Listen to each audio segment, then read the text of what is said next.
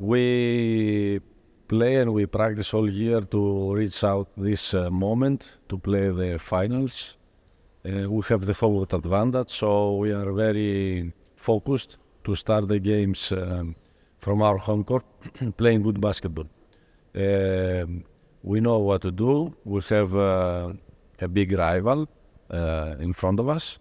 Uh, we know them, they know us, and for sure we will do our best to win uh, the first game. We not we don't uh, focus in the series. We just focus in the first game. Uh, I want to call our fans to come and help us. I know that uh, the atmosphere will be great, and I want to wish uh, to have uh, a great atmosphere, showing our culture, sports culture, to everybody.